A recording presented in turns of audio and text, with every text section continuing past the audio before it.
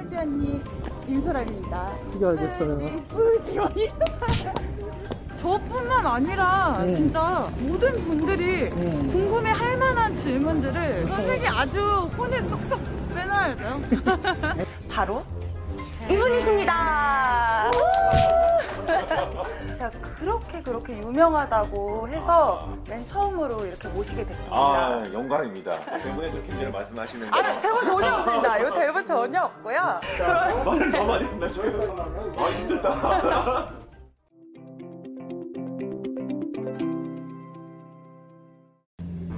오늘 어디 가시는 거예요? 오늘은 제가 뷰티 및 성형 마스터 명희님을 만나뵈러 가고 있습니다.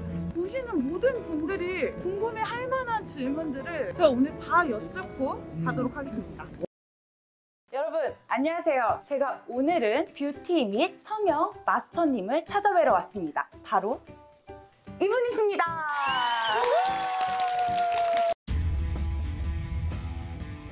오마에와 모 신데이루. 너니?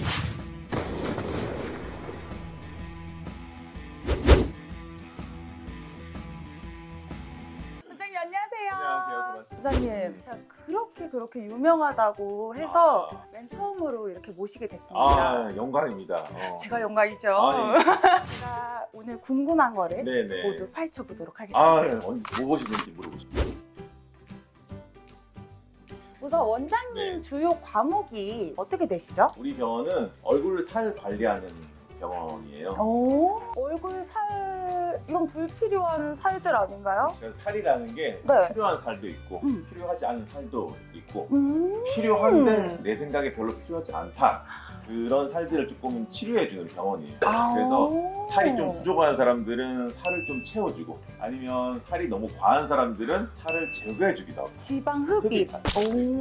그리고 살이 처져가지고 네. 살이 쭉 내려온 사람들 어. 그런, 사람, 그런 사람들은 왜 살이 내려오면 나이 들어 보이잖아요. 음. 처진 어. 것들도 좀 해결해주고 살이 많은 사람, 살이 적은 사람, 살이 처진 사람, 어. 살이 붙는 사람 이런 사람들을 종합적으로 조금 치료해주는 그런 그런 병원이에요.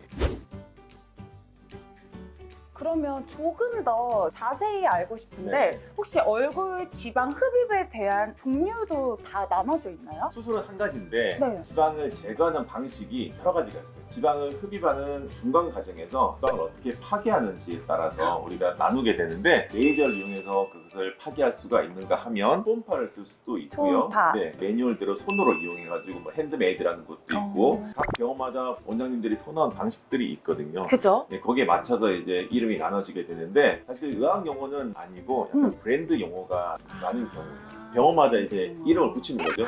어떤 어떤 얼굴 지방 흡입, 살 제거, 흡입 이렇게 이름을 붙이는데 각 병원에서 이제 가장 많이 하는 방식으로 음. 이름이 붙여지는 게. 그 원장님께서는 그 중에 자신 있다 어, 하시는 게 뭐죠? 저희가 10년간 해봤는데 음. 저희는 이제 초음파 방식으로 초음파? 네, 초음파 오. 방식으로 해서 우리가 왜 음파가 이렇게 진동을 통해 전달이 되는 건데 지방세포를 진동을 통해서 터트려요. 터트려가지고 고체인 지방을 물로 만들어가지고 쭉 짜내는 방식을 쓰고 있어요. 최근에 뭐 아큐스컬프라는 레이저도 있는데 네. 그거는 지방을 태우는 방식을 하는 거고요. 저희는 그 중에서 초음파 방식. 어, 초음파. 네, 저희가 써보니까 초음파가 좀 다루기 힘들어요. 사실은 다른 레이저 방식보다 좀 쓰기 힘든데 한번 잘 쓰게 되면 뭔가 부기를 좀 최소화할 수가 있어요. 잘 못 쓰면 모든 부작용이 생길 수가 있는데 제가 써본 바에 의하면 레이저 방식보다는 멍이나 붓기가 좀 덜하게 열을 전달해서 할 때는 주변에 화상을 입히기도 하고 조직에 손상을 입히기도 하는데 초음파는 조금 잘 쓰게 되면 그런 게 조금 덜한 것 같아요. 어.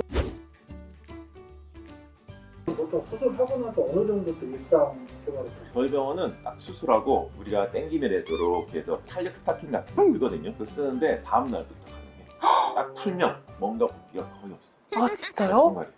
약간의 저희 병원만의 노하우. 음. 그래서 다른 병원은 수술하면 좀 많이 붓거든요. 뭐 저희 병원도 이제 뭐 그런 과정을 겪으면서 정보들이 쌓이다 보니까 어떻게 하면 좀 빨리 복귀할 수 있는가. 우리 병원에 가장 많은 사람들이 묻는 것 중에 하나가 얼만큼 빨리 일상으로 복귀할 수 있는가. 맞아요. 그거지 않아요, 그거. 맞아요. 원래 지방 흡입하면 기본적으로 한 달 정도 쉬어야 된다고 막 그러더라고요. 초음파로 하니까 확실히 붓기가 진짜 없겠네요. 초음파를 해서 그런 게 아니라 첫 번째는 솔직히 어, 원장님 스킬입니다, 여러분. 우리가 우리가 10년을 했으면 잘할 수밖에 없어. 그죠? 네, 왜냐면 10년을 한결같이 이것만 하고 있고 밥만 먹고 이것만 하면 잘할 수밖에 없어. 그럼 흡입을 하게 되면 초음파로 하게 되니까 자연스럽게 피부도 좀 탱탱해지는 그런 게 있겠네요. 어, 이제 콤파라는 것들이 안에 이제 진피층 아래에서 지방을 녹이면서 열을 전달하기 때문에 네. 여러 가지 콜라겐 형성에 도움되기 때문에 피부의 어떤 탄력도가 좀 좋아지는 그런. 음. 그런 게 가장 큰 장점이에요. 네, 요즘에 지방 흡입에 굉장히 관심이 많아가지고. 아니, 사람들이 보면 딱 그래요. 유튜브 시대잖아. 이 유튜브 시대, 영상 시대에는 그게 쉽지 않잖아요. 그죠. 이런 시대에는 작은 얼굴이 좀 대세. 맞아, 맞아요. 얼굴이 작아야지 맞아요. 화면에서 잘 나오고 음, 눈, 코도 커 보이고 음. 그리고 작은 얼굴이 동안 얼굴이에요. 맞아, 맞아. 사람이 나이가 들면 처지기도 하고 얼굴 살이 커지기도 하면서 응. 사각형 얼굴이 되는데 이제 작은 얼굴이라는 것은 가름하고 작고 피부에 어떤 탄력도 좋은 그런 것들이 포함한 얼굴이기 때문에 음. 요즘 얼굴 지방 흡입에 대해서 굉장히 사람들이 관심이 많아요. 소라 씨도 유튜브 스타시잖아. 네, 스타가 되려고 노력 중인. 이제 새내기입니다. 그러면 제가 궁금한 게 예를 들어 제가 여기 턱살이 너무 빼고 싶은 거예요. 턱살을 너무 빼고 싶어서 선생님께 찾아왔는데 또 이마는 약간 꺼져 있는 거예요. 이 살을 여기에 넣고 싶어요. 그럼 혹시 그것도 가능한가요? 어, 대개는 우리가 지방을 네. 흡입할 때는 지방 세포를 다 파괴해서 음. 흡입을 해요. 음. 근데 지방 이식이라는 것은 네. 살아있는 지방을 잘 뽑아서 이식하는 거기 때문에 음. 목적이 좀 달라요. 그래서 흡입할 때는 최대한 지방을 파괴해가지고 음. 흡입하기 좋은 형태로 만들어서 뽑아내는 거고 이식할 때 채취할 때는 네. 지방을 잘 살려가지고 어떻게 하면 잘 파괴되지 않을까 어, 음. 거기에 포커스를 맞춰가지고 채취를 하기 때문에 허벅지나 옆구리에서 지방을 잘 뽑아서 뽑아서 넣어야 되는 거고 여기에 있는 지방을 넣을 수는 없다 파괴시켜야 되고 그쵸. 그거는 파괴시켜야 되는 거하고 채취하는 그죠? 것은 목적이 다르다 그러면 이거를 파괴시키게 되면은 혹시 살이 또 찌게 되잖아요? 네. 그럼 이게 또 그대로 이렇게 될까요? 이 질문을 굉장히 많이 해요 음, 수술한 다음에 다시 돌아오지 않나요? 네. 가장 많이 하는 질문인데 이중턱의 지방이 음. 지방 세포수가 예를 들어서 100개가 있으면 100개인 지방이 우리가 성인이 된 이후에는 숫자가 잘 변하지가 않는데 우리가 살이 찐다는 것은 100개의 지방 세포의 크기가 커지는 거예요. 그러니까 살이 찐다는 것은 우리의 잉여의 에너지를 지방 세포 안에 저장을 하는 건데 저장하는 과정에서 세포가 커져요. 어, 그러다 보니까 커진다. 이중턱이 커지는 거예요. 그러니까 살이 찐다는 것은 크기가 커지는 거고 우리가 흡입한다는 것은 크기를 줄여주는 게 아니고 숫자 자체를 낮춰주는 거예요. 아. 그러니까 여기 이중턱이 100개가 있으면 그 중에 한, 한 20개 네. 남겨놓고 80개를 다 빼요. 어. 그러다 보니까 사이즈를 줄여주는 게 아니라 숫자를 줄여주는 거기 때문에 음. 남아있는 20개가 물론 살이 찌면 커질 수는 있겠죠. 음. 있어요. 그러니까 극히 드물다. 그렇죠. 어. 잘, 잘 안 찐다. 쉽게 말해서 잘 안 커진다. 100개가 있을 때 커지는 거하고 20개가 있을 때 커지는 그죠? 거하고 오, 너무 좋은데요? 지방 분해 주사라든지 이런 것들하고 흡입술은 좀 목적이 달라요. 음. 주사라든지 이런 것들은 사실 사이즈를 줄여주는 목적이 더 커요. 사이즈 그냥 파괴는 못하고 미세하게 이렇게 줄여주는 그렇죠. 역할을 하는 거구나. 흡입은 숫자를 줄여주니까 네. 환경 자체가 개수가 작으니까 음. 이게 커지더라도 한계가 있다. 그렇게 생각하세요. 음. 여기에 이제 흡입을 하게 되면 소위 말하는 남아있는 지방도 있지만은 상처 조직이 생겨요.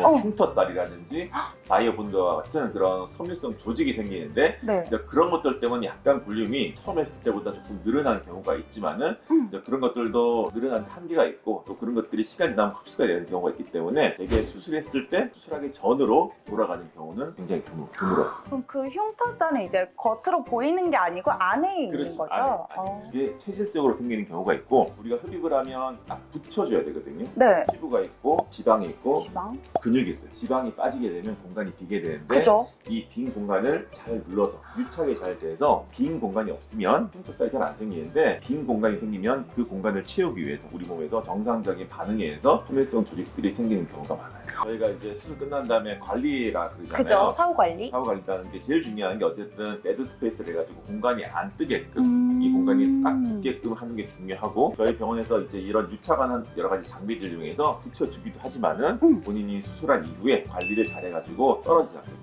뭐 네. 수술하는 데를 뭐 심하게 문지른다든지 뭐 압박을 좀 잘 안 해준다든지 수술한 부위가 너무 크게 움직인다든지 음. 그런 것들을 좀 자제해 주시는 게또 얼굴 흡입한 이후에 좋은 관리법이라고 할 수가 있어요. 어... 뿌지 언니 아시나요? 두 분의 영상을 보고 하도록 할 건데요. 잠시만요. 나 지금 뭘 하는지 모르겠어. 갑자기 멍해졌어. 아니다. 내 실제 사연 영상을 보고 이야기하는 시간이에요. 너무. 아, 무서워. 싹싹싹. 무서워가지고 우와 우와 우와. 근데 엄청 안 부었어요. 와 대박이다. 아니다.